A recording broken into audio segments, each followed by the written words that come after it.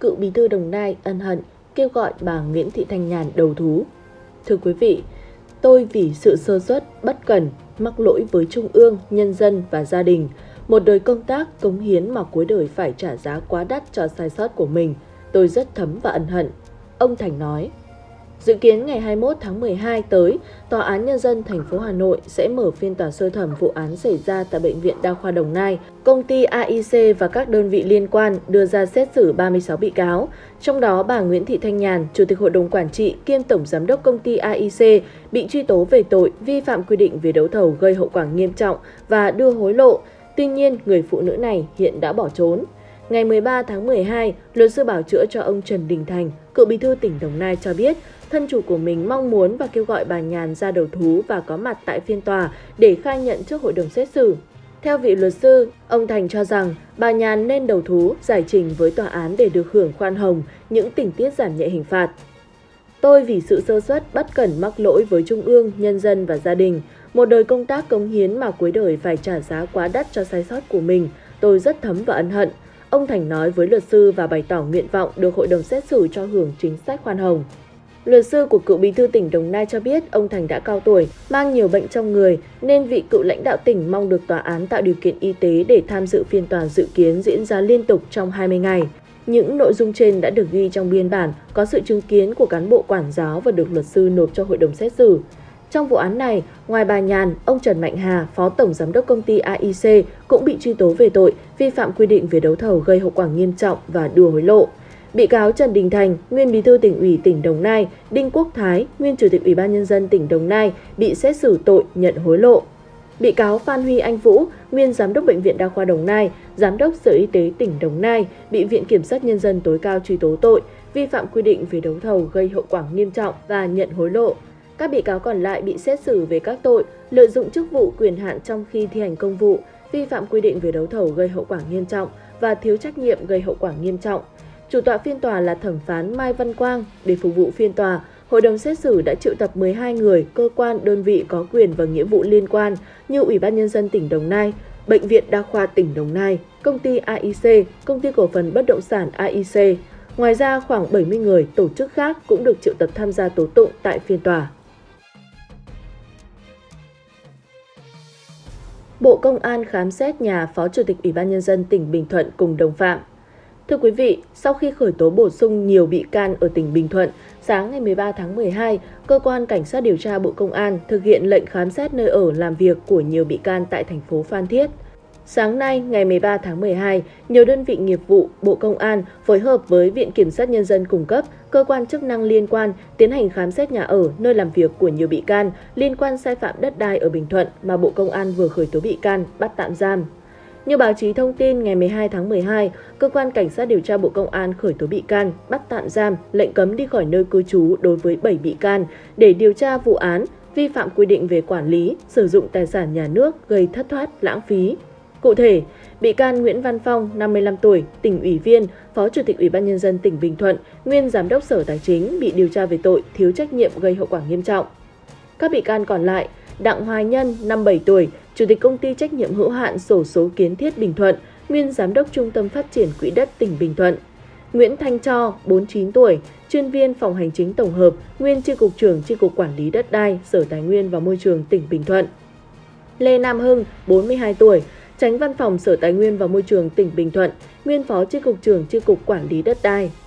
Phạm Duy Cường, 48 tuổi, trưởng phòng Tài nguyên và Môi trường thành phố Phan Thiết, tỉnh Bình Thuận, nguyên phó trưởng phòng phụ trách phòng kinh tế đất, Chi cục Quản lý đất đai tỉnh Bình Thuận. Lê Anh Huy, 45 tuổi, trưởng phòng hành chính tổng hợp, Chi cục Quản lý đất đai tỉnh Bình Thuận bị khởi tố điều tra về tội vi phạm quy định về quản lý sử dụng tài sản nhà nước gây thất thoát lãng phí.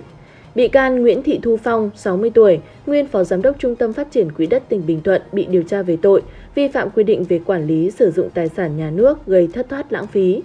Các bị can được xác định liên quan những sai phạm trong dự án khu thương mại dịch vụ và dân cư Tân Việt Phát 2, ba lô đất số 18, 19, 20 thuộc quỹ đất hai bên đường 706B, nay là đường Võ Nguyên Giáp, Nguyễn Thông, phường Phú Hải, thành phố Phan Thiết, tỉnh Bình Thuận. Liên quan những sai phạm trên, trước đó ngày 10 tháng 2, Cơ quan Cảnh sát điều tra Bộ Công an đã khởi tố vụ án vi phạm quy định về quản lý sử dụng tài sản nhà nước gây thất thoát, lãng phí. Tăng giá điện, bù chéo và tinh thần cùng thắng. Thưa quý vị, Tập đoàn Điện lực Việt Nam EVN báo cáo kết quả sản xuất kinh doanh đến hết tháng 10 năm 2022, lỗ khoảng 15.758 tỷ đồng, ước tính năm nay lỗ ở mức khoảng 31.360 tỷ đồng. EVN đã đề xuất điều chỉnh giá bán lẻ điện. Chị Nga, công nhân trong một nhà máy thuộc khu công nghiệp v Bình Dương, thuê trọ cùng chồng và hai con. Mỗi tháng chị trả khoảng 300.000 đồng tiền điện. Với mức trả đó, chị không nằm trong danh sách mà các nghiên cứu cho là thuộc diện đói nghèo năng lượng, energy poverty. Một hộ dân đối mặt với gánh nặng năng lượng là một trong những nguy cơ dẫn đến đói nghèo nếu phải trích trên 10% thu nhập dành cho chi phí năng lượng. Và với mức trả đó, chị không thuộc con số 40% hộ gia đình tại Việt Nam phải chi đến 10,8% tổng thu nhập để trả tiền điện, theo một báo cáo của Ngân hàng Thế giới mới đây. Nhưng thực tế thì sao? Áp lực tiền điện khiến những hộ thuê nhà như trường hợp của chị Nga không nghĩ đến các thiết bị như máy lạnh, máy giặt, tivi, bàn ủi, chỉ có cái tủ lạnh nhỏ, nồi cơm điện và vài cái quạt máy. Ít ai nghĩ rằng khi sử dụng điện, gia đình chị có đóng góp một phần giá điện cho những nhà máy như nơi chị đang làm việc. Nghịch lý xuất phát từ nguyên lý mang tên bù chéo bấy lâu nay. Người dùng điện sinh hoạt và kinh doanh phải trả giá điện cao hơn giá bình quân để hỗ trợ cho khối sản xuất công nghiệp. Hộ của chị Nga, tôi và bất cứ ai, dù ở nhà thuê hay ở nhà của mình, đang hỗ trợ tiền điện cho khối sản xuất khi thanh toán hóa đơn tiền điện hàng tháng, tức chúng ta đang phải trả thêm so với giá thực mà chúng mình sử dụng. Vậy là gánh nặng năng lượng của một hộ công dân như chị Nga chưa nằm trong các con số thống kê, báo cáo, cỡ mẫu nghiên cứu điển hình nào về nội dung này nhưng cho thấy gia đình chị hoàn toàn thuộc trường hợp đối diện với đói nghèo năng lượng.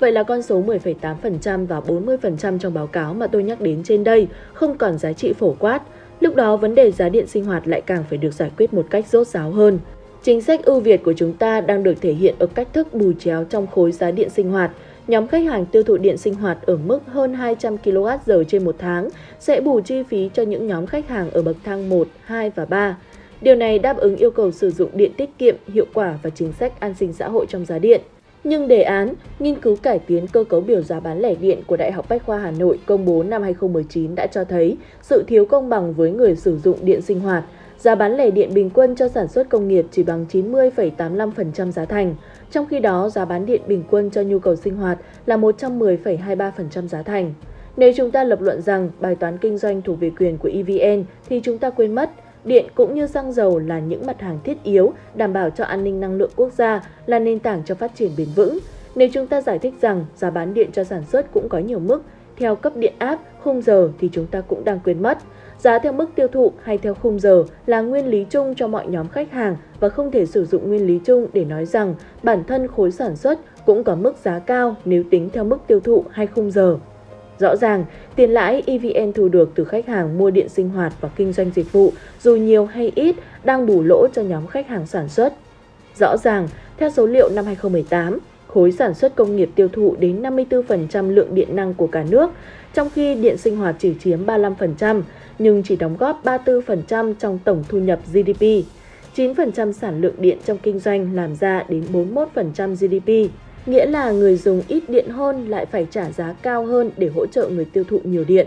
Lập luận cuối cùng để biện minh, giá điện khối sản xuất thấp vì EVN đang bán trực tiếp đến chân nhà máy, sản lượng lớn trong khi chi phí lưới truyền tải thấp. Vậy thì cần tính toán và công khai số liệu việc này giảm được chi phí bao nhiêu, tương ứng mức giá nào một cách cụ thể. Cũng vậy, khoản lỗ khổng lồ nêu trên là tính chi phí cho cả ngành hay chỉ chi phí sản xuất điện, khách hàng không muốn và EVN cũng không muốn bị nghĩ, cứ lỗ là dồn hết vào giá bán. Vậy là tăng giá điện, bù chéo, nếu muốn được sự đồng thuận, chúng ta cần những con số thật rõ ràng. EVN đã thắt lưng buộc bụng, cắt giảm chi phí, gồng lỗ triền miên. Nếu muốn sự đồng cảm, chúng ta cũng cần những con số thật chi tiết.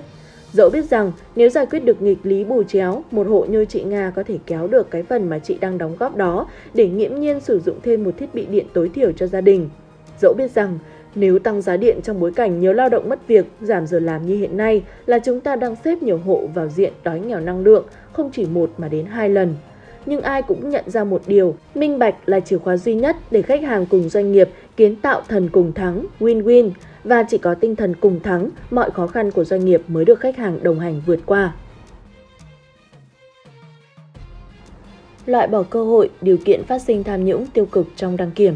Thưa quý vị, Bộ Giao thông Vận tải yêu cầu Cục Đăng kiểm ra soát, hoàn thiện thể chế quy định để kịp thời khắc phục sơ hở, bất cập nhằm loại bỏ cơ hội, điều kiện phát sinh tham nhũng tiêu cực trong hoạt động kiểm định phương tiện. Yêu cầu đó được Bộ Giao thông Vận tải đưa ra trong công văn gửi Cục Đăng kiểm Việt Nam, các sở giao thông vận tải về tăng cường công tác quản lý hoạt động kiểm định phương tiện giao thông cơ giới đường bộ. Theo lãnh đạo Bộ Giao thông Vận tải, qua công tác thanh tra của Thanh tra Bộ Giao thông Vận tải và phản ánh trên phương tiện thông tin đại chúng trong thời gian vừa qua cho thấy, công tác kiểm định còn nhiều thiếu sót, đặc biệt tồn tại vi phạm của đăng kiểm viên. Đăng kiểm viên thực tập có chiều hướng gia tăng, tập trung ở các lỗi như không thực hiện đầy đủ nội dung kiểm định, bỏ lỗi vi phạm, đèn phương tiện, kích thước thùng xe tải. Để kịp thời chấn chỉnh các tồn tại, thiếu sót và nâng cao chất lượng công tác kiểm định phương tiện giao thông cơ giới đường bộ, Bộ Giao thông Vận tải yêu cầu Cục Đăng kiểm Việt Nam tập trung triển khai đề án nâng cao năng lực, hiệu quả phòng chống tham nhũng, tiêu cực giai đoạn 2022-2025 và định hướng đến năm 2030 của Bộ Giao thông Vận tải.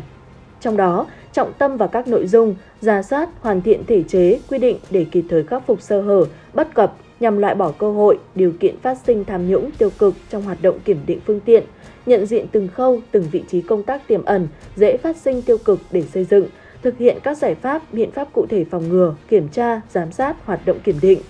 tăng cường công tác quản lý nhà nước về hoạt động kiểm định phương tiện giao thông cơ giới đường bộ, thường xuyên kiểm tra giám sát hoạt động kiểm định phương tiện thông qua hệ thống giám sát trực tuyến tại Cục Đăng kiểm Việt Nam.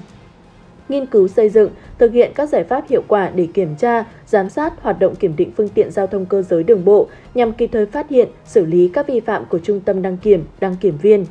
Với các sở giao thông vận tải, Bộ Giao thông Vận tải yêu cầu tăng cường công tác quản lý hoạt động kiểm định phương tiện giao thông cơ giới đường bộ theo chức năng, nhiệm vụ được giao, tập trung thanh tra, kiểm tra hoạt động kiểm định phương tiện giao thông cơ giới đường bộ trên địa bàn. Thông tin từ Cục Đăng kiểm Việt Nam cho biết, lãnh đạo cục này vừa ra quyết định tạm đình chỉ toàn bộ hoạt động kiểm định xe cơ giới đối với Trung tâm đăng kiểm 8302D, ấp Xây Đá B, xã Hồ Đắc Kiện, huyện Châu Thành, tỉnh Sóc Trăng trong thời gian 3 tháng, kể từ ngày 12 tháng 12 năm 2022 đến hết ngày 11 tháng 3 năm 2023. Trung tâm đăng kiểm này bị đình chỉ do vi phạm quy định tại Nghị định 139-2018 NDCP của Chính phủ về kinh doanh dịch vụ kiểm định xe cơ giới. Cục đăng kiểm cũng vừa đình chỉ dây chuyền kiểm định của hai trung tâm đăng kiểm 9802D và 9806D tại Bắc Giang vì để xảy ra vi phạm quy định tiêu chuẩn trong kiểm định xe cũ nát đưa đón công nhân học sinh. Đối với Trung tâm đăng kiểm xe cơ giới 9806D, Cục Đăng kiểm tạm đình chỉ hoạt động kiểm định một dây chuyền kiểm định trong thời hạn một tháng, tạm đình chỉ tham gia hoạt động kiểm định một tháng đối với các đăng kiểm viên Nguyễn Văn Nhiên và đăng kiểm viên Nguyễn Ngọc Tuyến.